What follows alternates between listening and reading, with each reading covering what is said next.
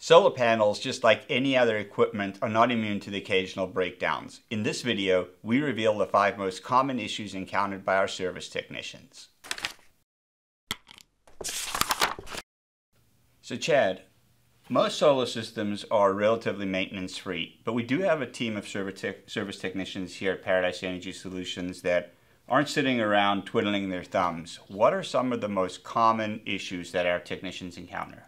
Well, thanks, Warren. Um, our Paradise Energy Solution technicians service all of Paradise Energy customers. Yep. But we also service anyone who has a solar system that needs um, technical assistance. That may or may not have been installed by us. May or may not have been installed by Paradise. A lot of these issues we're going to start with are not issues we find on Paradise sites, Yep. but they're just generally we see them out there. And and the first big topic that we find is installation issues. Okay.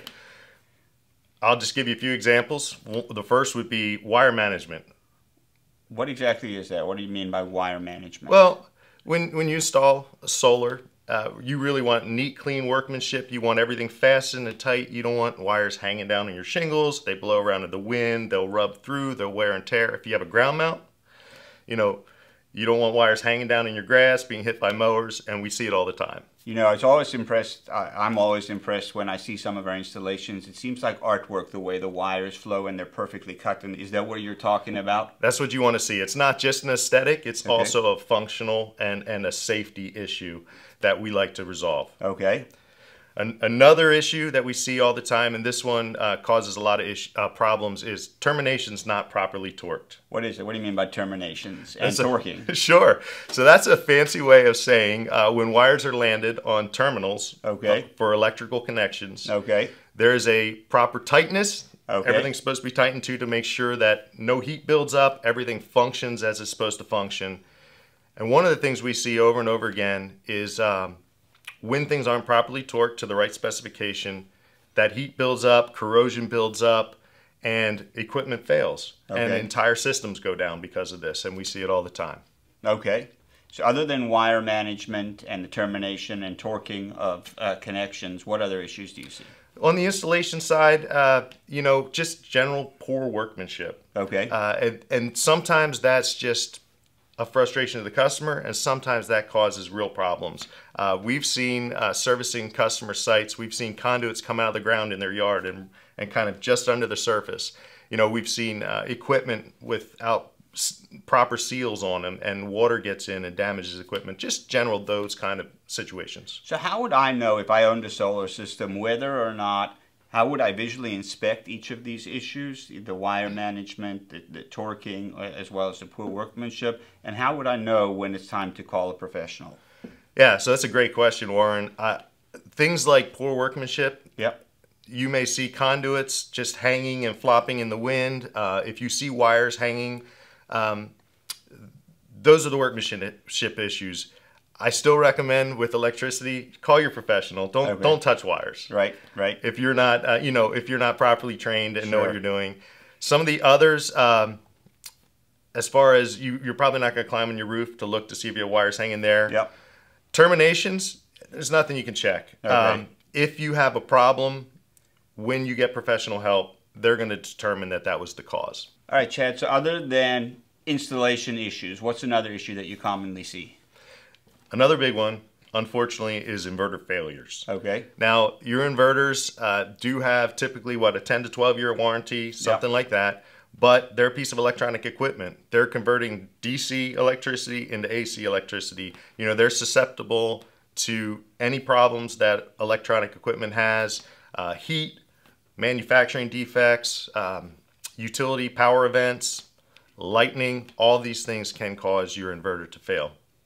How would I know uh, if my inverter, if my inverter inverter's failed, or if it is the inverter that's failed, or if it's something else that's going on with my system? Sure. You do, depending on the type of system you have, uh, hopefully you have an online portal that Yep. you can go and check your production. You're, you're looking to see the health of your system.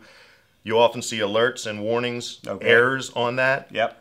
If uh, you just are the kind of person who walks around your property and looks at your equipment, you may see red lights. You may see uh, no production. Okay. Those kind of things would alert you.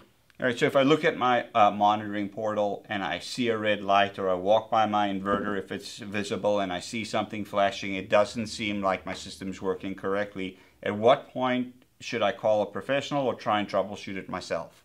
Maybe I'm biased, but but Warren, I'm always thinking just call your professional. Okay. They may or may not give you some troubleshooting steps over the phone. Okay. But they're familiar with them, you know, that piece of equipment. They know what the proper steps are and they can help lead you or schedule a time where it's convenient for you to come out and take a look and, and you know, make those repairs. All right, Chad. So we talked about installation issues. We talked about inverter issues. What other issues are there? Another big one we see, um, fortunately, it's a little less problematic uh, to your production, yeah. but is communication issues. Okay. And a communication issue is basically when you go online to your portal and you know you just don't see anything or you see no production. The system has some alerts and alarms and warnings, but maybe you go out and check and your inverter looks fine. It's okay. producing, system's working. Yep. It's a communication issue. Okay. Meaning that your solar system's not talking to the internet. That's correct. And there's really maybe four main ways that your system could be connected to the internet. Okay. Uh, maybe it's through Wi-Fi. Yep. And if it is through Wi-Fi, you got to ask yourself: Have I recently changed my Wi-Fi password? Sure. Have I changed network equipment? Yeah. Has anything changed? Yeah. Another one would be um, maybe a hardwired Ethernet cable, like uh, we used to do with our computers. Sure. You know. Yeah. Again, is a cable unplugged from your router? Yeah. Just very simple networking things. Uh, many modern inverters have cellular communications. They have okay. a cell card in them. Really, not a lot you can check there. It's either working or it's not. And then uh, the only other thing I would mention that I think is important that we, we walk customers through is the installation of kind of wireless bridges where you can't run an Ethernet cable. Yes. There'll be, you know, two pieces of equipment talking to each other. And if they stop working, maybe you have some red lights or something on them. But at that point, you're probably calling a professional for some assistance. Absolutely, and I think it's also important to note that if you have a warranty that requires that your uh, your that we monitor your system for you, we need to, in order to keep that warranty active, need to be able to monitor your system and have your internet up and running. Very good point. Uh, we care about that system and making yeah. sure your production meets your expectations. And without that visibility to your system, we lose our ability uh, to be proactive and, and provide a solution. All right, Chad. So, so far we talked about the installation issues, the inverters, and the communication issues. What else? Another one, and this gets a little technical. Maybe okay. maybe you'll call it a little nerdy, but uh, we see a lot of uh, ground faults yep. and arc faults. Okay. These are fancy terms for basically um, a ground fault would be maybe the insulation on your wires is damaged and it starts to bump some metal objects. Okay. It's called a ground fault.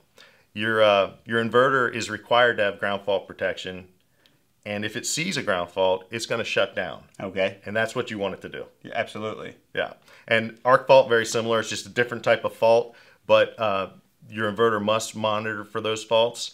And if it sees one, once again, it's going to shut down for your protection and the safety of your property. Okay, so if you have an arc fault or a ground fault, your system is going to be shutting down and you're not going to be producing what you hoped your system would produce. So obviously you want to address this as soon as possible. Is this something you could address on your own, or again, when do you call in a professional? Well, Warren, you're going to want to call right away on these. Okay. Um, your technician is going to want to look for the cause of that fault. Is it yep. a lo- loose connector? Is it a damaged wire? Yeah. And you're going to want to make sure that's resolved before you restart that system. All right, Chad. So, are there any other common problems that we should know about? Let's talk about one more. Okay. this one's a fun one. Uh, squirrels. Okay. And other rodents, but but squirrels are notorious. They uh, love to chew on your PV wire. Okay. I don't know why. I can't explain it, but I can definitely tell you they, they enjoy it. Okay. Uh, I think they like the uh, the shelter provided under your solar panels. Okay. Couple of issues, obviously damaged wiring, and we see a lot of shingles damaged. I had one customer here in uh, Pennsylvania that uh, actually heard squirrels in their attic, could never figure out where they were entering right. until we removed one of their solar panels. The squirrels had actually chewed a hole through the roof and were living inside of their house. So it can be a major problem. And is this a problem both on roof mounts and ground mounts? You know, we were talking about this. We don't see a lot of problems on ground mounts with uh, animals or rodents damaging the equipment. This is more of a rooftop issue in our experience. Okay, so how do you troubleshoot this particular issue?